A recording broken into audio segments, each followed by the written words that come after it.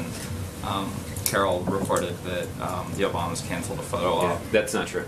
Okay. Um, can you talk about then why we didn't have a photo op in the way Yeah. that we have in, in previous uh, administrations, and, and why there's no press ac- access, and, and particularly if this is Well, first of all, Justin, you just were in the Oval Office with the President of the United States and the President-elect, so it's not accurate to say that there was no, no press access.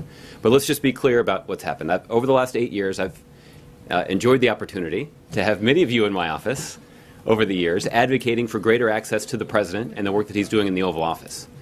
And what that typically means is you coming in and advocating for the opportunity to see the President of the United States sitting in the Oval Office, photograph him sitting next to the person that he's meeting with, and then hear from both people about the meeting.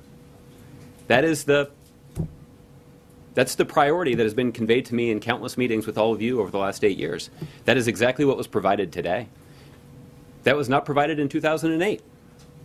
I wasn't part of designing the press access for 2008, so I can't account for all of the reasons for that.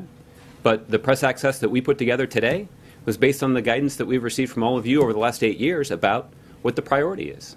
Uh, and we're pleased to be in a position to provide that today.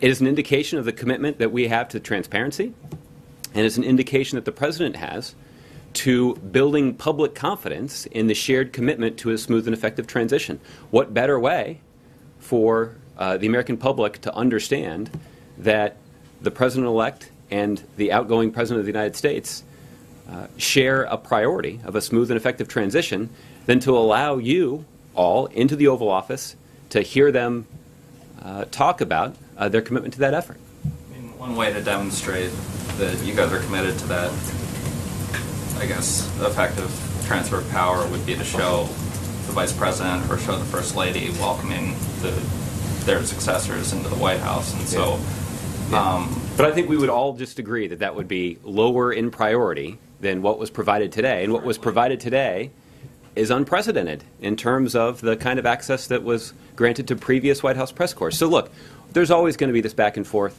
as I've stated before. The reason that this is relevant, and the reason that I'm asking the question is, while the president has come out and sort of put on a cherry face, we know obviously many people here are disappointed.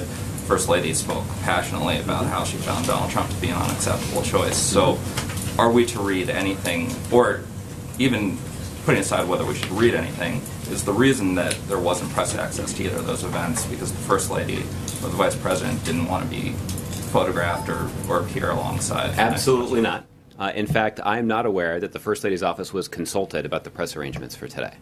Uh, I certainly didn't consult with them. Uh, what we can do uh, is uh, we can go back to the uh, White House photographer